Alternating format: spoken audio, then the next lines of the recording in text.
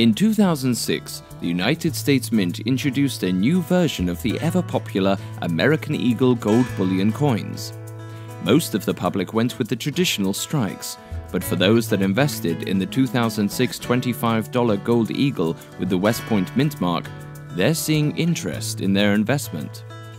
Featuring the beautiful and iconic design of Augustus St. Gaudens on the obverse, the uncirculated coin boasts mintage of 15,164. Others in the series usually number in the tens of thousands, leading to the half ounce 22 karat gold coin to exceed its initial value in today's market.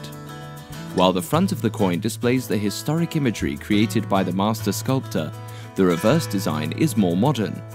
Created in 1986 for the first coins in the American Eagle series, the design features a male bald eagle presenting a female and her hatchling with an olive branch. With the mintage being lower than both the mint state and proof coins, the 2006 $25 Gold Eagle commands a higher premium in the market and would make a fantastic investment today. Contact Global Monetary Reserve today to learn more about investment opportunities that can help you secure you and your family's financial future.